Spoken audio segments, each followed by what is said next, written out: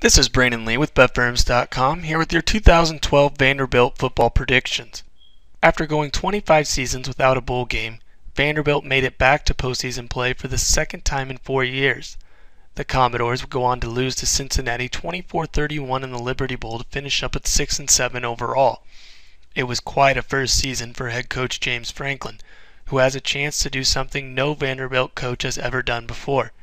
Take the Commodores to back-to-back bowl games Franklin has to like his chances with 15 starters back, but nothing is easy in the SEC. Teams are going to take Vanderbilt a lot more serious this time around, which will make it very hard to match last year's success. For a better idea of what the Commodores will look like this season, here's a quick breakdown of what they will send to the field on both sides of the ball. The Volunteers may have finally found an answer at quarterback in Jordan Rodgers, who won over the starting job from Larry Smith last season. Rodgers didn't make his first start until the seventh game of the year against Army, but ended up leading the team with 1,524 passing yards and was second on the team in rushing with 420 yards and four scores. Big things are expected out of the senior signal caller in 2012. The Commodores had one of the most productive seasons on the ground in quite some time. A big reason for that was the emergence of Zac Stacy, who carried it 201 times for 1,193 yards and 14 touchdowns. Stacy got his chance to shine after Warren Norman was forced to redshirt because of a knee injury. Warren, who led the Commodores with 459 yards in 2010, is expected to return this season. For those that don't remember, Warren set the SEC freshman record for all purpose yards with 1,941 in 2009. Big things are expected out of junior wideout Jordan Matthews this season. Prior to Rodgers taking over at quarterback, Matthews had just 117 yards in the team's first seven games. He ended up finishing the year with a team high 41 catches for 776 yards. Matthews became the first Vanderbilt wideout in school history with three straight 100 yard performances. The Commodores are also very high on sophomore Chris Boyd, who was second on the team with 31 catches for 473 yards. The fact that Vanderbilt was able to rush for 164 yards per game in 2011 was pretty impressive, considering they lost their starting left guard Jabo Burrow after just one game, and starting center Logan Stewart only played in five. Both Burrow and Stewart have graduated, along with guards Kyle Fisher and Mylon Brown.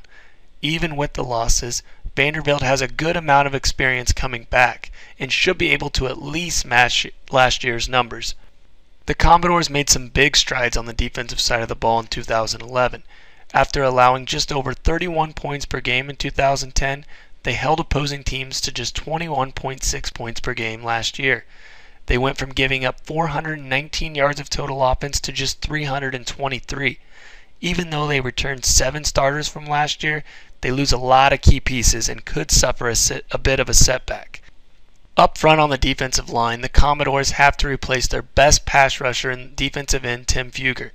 They do bring back three starters and talented defensive tackle Rob Lohr, defensive tackle Colt Nichter, and defensive end Walker May.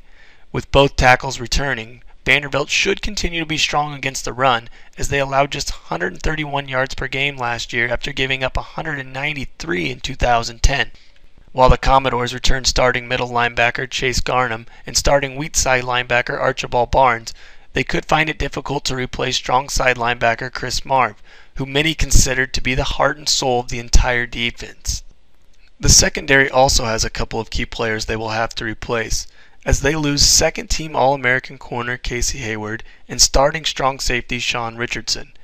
This unit finished 19th in the country with 19 interceptions last year, and a lot of that was a direct result of Hayward and the pressure applied by Fugger and Lohr. With both Hayward and Fugger gone, expect for a bit of a drop off in production from this unit in 2012. Now for my SEC prediction. I have Vanderbilt finishing 6th in the SEC East. While I think the Commodores are going to surprise a lot of teams with their ability to move the ball offensively, I am concerned that the defense will make it hard on them to win games. Even though I don't think Vanderbilt will make a lot of noise in the SEC East, this team definitely has a great shot at making it back to a bowl game. Whether or not they can get to that six win mark will likely come down to a couple of very winnable road games against Kentucky and Mississippi.